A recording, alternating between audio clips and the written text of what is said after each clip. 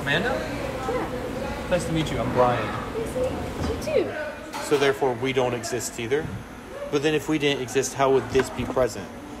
So how I like to think of it would is these like, be separate checks? No, I got it. Thank you. Thank you. Thank you. Oh, crap. Um, this has been fun. Um, I have to go. I'm so sorry.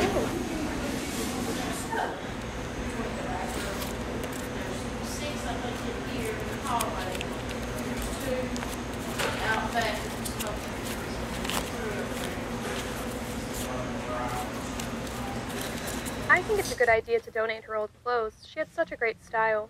Yeah, she did. But if you want to keep them, you know that's fine too.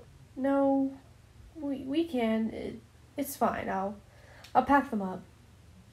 I just. I know it's hard. Yeah. Is there what's the update on the suspects? They're still looking into her ex boyfriend, but his entire family is testifying that he's innocent. Of course they are. But it.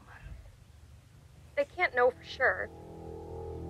Abigail Thomas Could have been anyone. alone in her apartment when neighbors reported violent sounds and screams can't coming from across the long for her to hall. When the authorities arrived, Abigail was already found dead.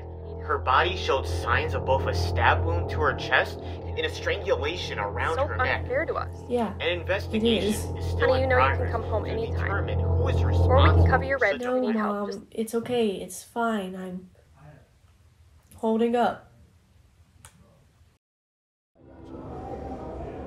So for me, if I had to choose, it'd probably be, honestly, sweet gherkin pickles are a pretty good hit. Nah, I'm, I'm playing with you, I'm playing with you.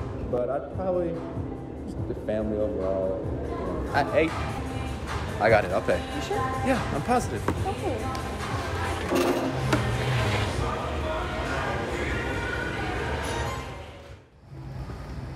Hey, did you take my wallet? Huh? Well, I had it, and then you hugged me, and now it's gone. Hey! Give me my damn wallet.